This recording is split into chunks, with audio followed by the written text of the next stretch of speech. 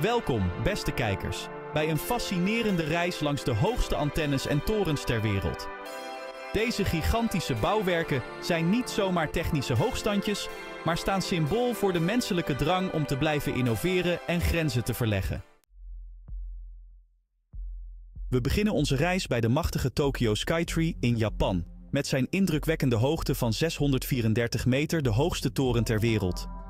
Deze reus, opgeleverd in 2012, is niet alleen een belangrijke televisie- en radiotoren, maar biedt bezoekers ook een adembenemend panoramisch uitzicht over de bruisende metropool Tokio.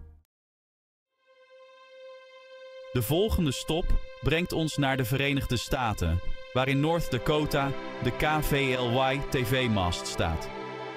Tot 2019 was dit gevaarte, met een hoogte van 628,8 meter, de hoogste zendmast op aarde.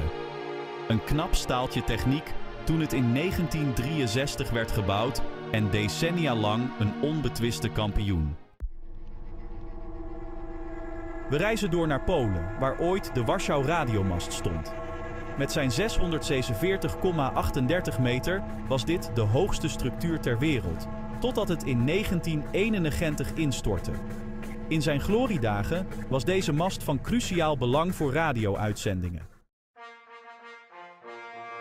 Natuurlijk mag de Burj Khalifa in Dubai niet ontbreken. Niet alleen het hoogste gebouw ter wereld, maar ook een belangrijke zendtoren. Met een duizelingwekkende hoogte van 828 meter torent hij hoog boven Dubai uit. De antennes in deze reus spelen een essentiële rol in de telecommunicatie van de stad.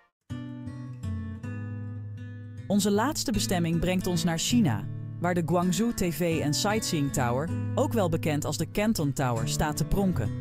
Deze elegante toren, voltooid in 2010, is met zijn 600 meter een belangrijk herkenningspunt en een belangrijke speel in televisieuitzendingen en toerisme.